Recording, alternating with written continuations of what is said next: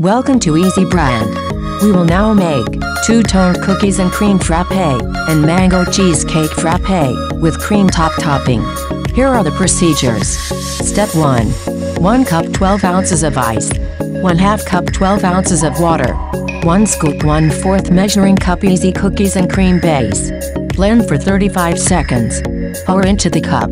Step 2. 1 cup 12 ounces of ice. 1 half cup 12 ounces of water. 1 scoop 1 4th measuring cup easy cheesecake base. 2 pumps of mango flavored syrup. Blend for 35 seconds.